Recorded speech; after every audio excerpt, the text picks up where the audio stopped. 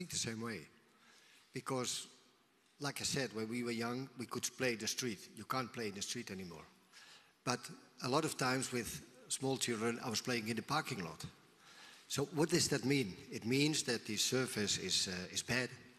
When you fall down, it hurts. So you try to learn not to fall down. Um, for small players, they quickly understand they've got to be technically much better than the other. Because if he's too slow, a big one will hit him over and he will be hurt. Of course, we had a lot of complaints of the mothers who said, well, my child fall down. Well, the game of football is not to fall down. I mean, you mustn't fall down. So, or you've got to organize it one way or the other. So I always think that, um, that uh, these sort of things help you to think. The problem today is a lot of coaches are thinking for them. I always think that put a problem there and think about it, or try to do something, or try to.